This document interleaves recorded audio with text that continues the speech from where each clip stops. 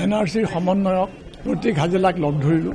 তেখেতৰ আগত আমি আমাৰ কিছু সংশয় ব্যক্ত কৰিলোঁ কিছু প্ৰশ্ন তেখেতক কৰিলোঁ আৰু তেখেতে তাৰ তেখেতৰ উত্তৰ দিলে।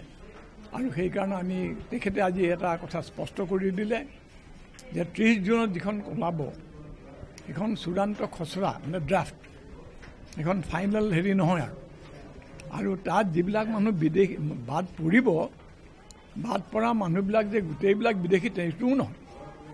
তেওঁলোকে নিজৰ মানে নাগৰিকত্ব সাব্যস্ত কৰিব পৰা প্ৰমাণ চমাণ দেখুৱাবলৈ অৱকাশ থাকিব।